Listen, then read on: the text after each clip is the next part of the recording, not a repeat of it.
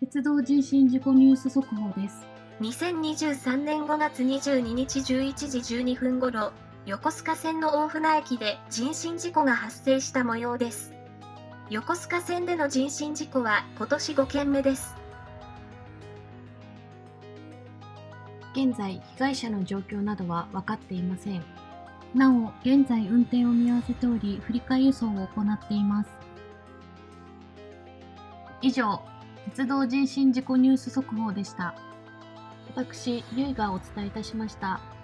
ご視聴ありがとうございました。チャンネル登録よろしくお願いいたします。